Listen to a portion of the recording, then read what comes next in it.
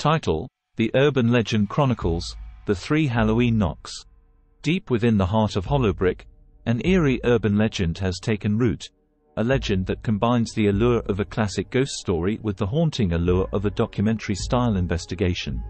The legend revolves around the three Halloween knocks and the sinister entity known as the Trick or Treat Killer.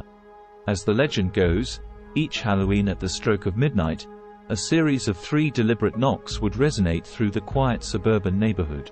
Those unfortunate enough to answer the door would find themselves face to face with the Trick or Treat Killer, a malevolent spirit seeking vengeance on this most mysterious and ominous night. This Halloween, we follow the story of Amelia and David, a young couple who had recently moved into a cozy suburban home in Hollowbrook. As newcomers to the neighborhood, they embraced the local customs and eagerly anticipated their first Halloween. Their journey into the unknown was captured in a documentary-style format, offering a rare glimpse into the unsettling lore of the three Halloween knocks. The couple prepared for the evening by decorating their porch with intricately carved pumpkins and a collection of festive ornaments. As twilight enveloped the neighborhood, children in an array of costumes filled the streets, ready to embark on their annual quest for sweets. As the evening progressed, the children's laughter and the vibrant spirit of Halloween filled the air. However, a creeping silence gradually descended upon the neighborhood as the night grew deeper, creating an eerie ambience that served as a backdrop to the couple's experience.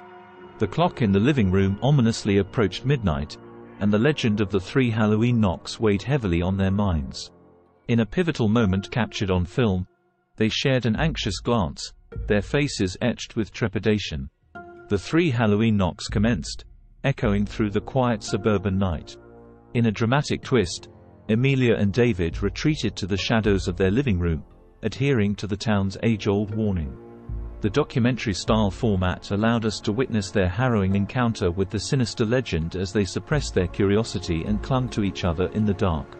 The sinister knocks persisted, and their terrifying ordeal was captured on film. The air grew frigid, and a ghostly lullaby, filled with anguish and dread, seemed to emanate from the very walls of their home. Then, in a chilling turn of events, the knocks ceased, and the oppressive silence returned, leaving Amelia and David in a state of relief and disbelief. Their encounter with the trick or treat killer had ended, and they had survived the ordeal. The legend of the three Halloween knocks, an urban legend steeped in the town's history, had once again proven its potency, and the documentary-style narrative allowed us to witness the enduring impact of this spine-tingling lore.